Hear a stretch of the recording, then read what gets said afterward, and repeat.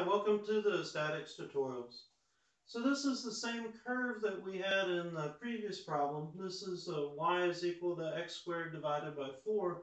But now we're going to find the centroid of the curve itself. So you could imagine this would be like finding the centroid of a piece of wire or a pipe that was bent along the curve. We're going to look at the same region. So x is going to be from 0 to 8 and y is going to be from 0 to 16. So since we're looking along the length, we need to draw a differential length. So our differential length here is dl, and then we'll construct a right triangle where the base is dx, uh, and then the height is dy.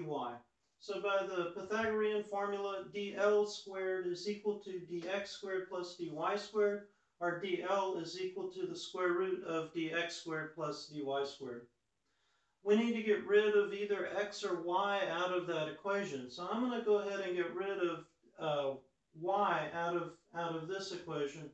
So going back to our equation for the curve, y is equal to x squared divided by 4, let's take a differential now on both sides. So the differential of y is dy, and then the differential of x would be, uh, sorry, x squared would be the 2 x, got the 4 still here, but since we're taking a differential, we're left with the differential of whatever the variable is on the inside. If we were taking a derivative, then it would be with respect to x, and we would lose this term. But since it's a differential, it's there. You could also think about taking uh, a derivative here and then clearing the fraction and multiplying through by dx to get the same equation. Uh, just cleaning up the fraction a little bit, we get dy is equal to x divided by 2 times dx. Then we can substitute that back in. So in place of dy squared, we have x over 2 dx squared. Uh, we have dx squareds in both of these terms, so we can pull the dx squared out. Remember, as we pull it out from under the square root, we're going to take a square root of the dx squared and just get dx.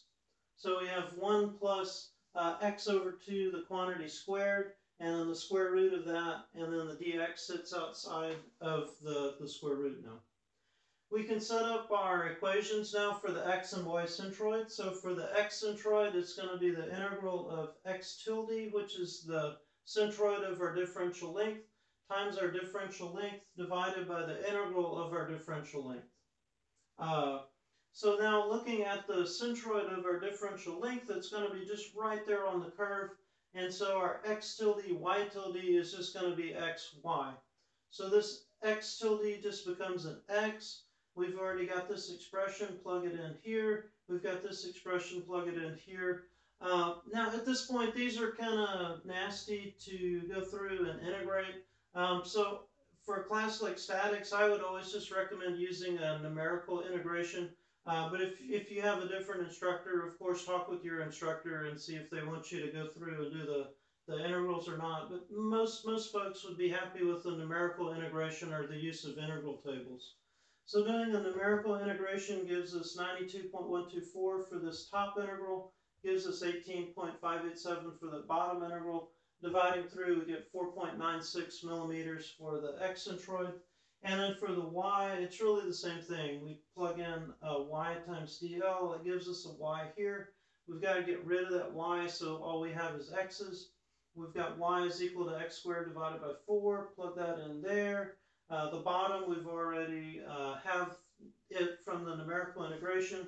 And then just go through and numerically integrate this, uh, the numerator here, the top part, and get 135.54 uh, divided by that same 18.587, and that gives you a y centroid of 7.29 millimeters. Thanks for watching.